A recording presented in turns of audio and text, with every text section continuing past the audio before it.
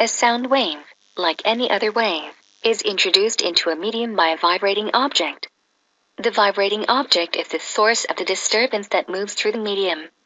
The frequency of a wave refers to how often the particles of the medium vibrate when a wave passes through the medium.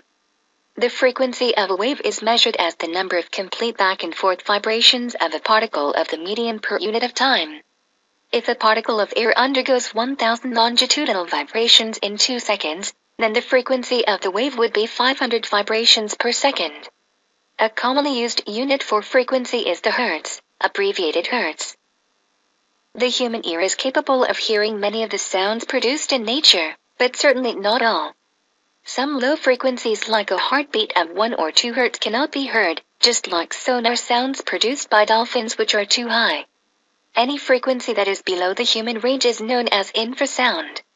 It is so low that it may be detected by a creature with big ears, such as an elephant. In fact, recent research indicates that elephants also communicate with infrasound. Ultrasound, on the other hand, is above the range of the human ear. Bats, whales, and dolphins use ultrasound for navigation. Most bats can detect frequencies as high as 100,000 Hz.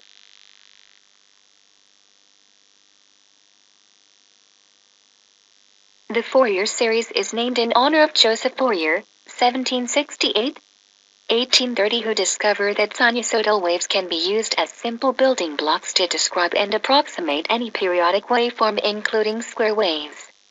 Fourier used it as an analytical tool in the study of waves and heat flow. It is frequently used in signal processing and the statistical analysis of time series. The simplest waveform is the sine wave, since it has only one frequency associated with it. More complex waveforms can be constructed from sine waves of various frequencies by the law of superposition.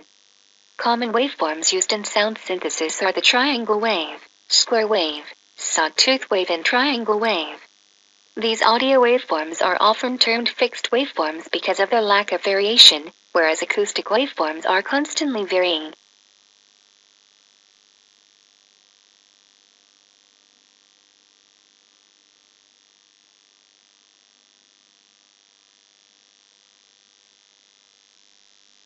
The sound from the waveform is various as illustrated in the following software demonstration.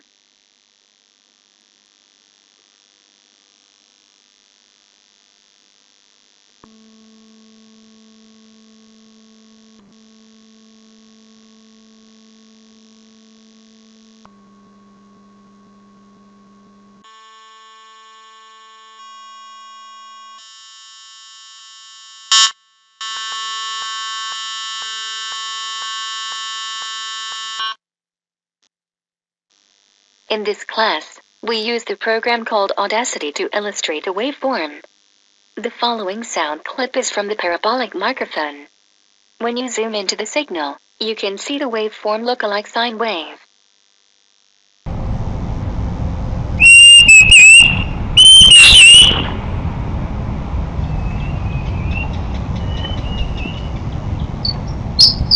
Thank you.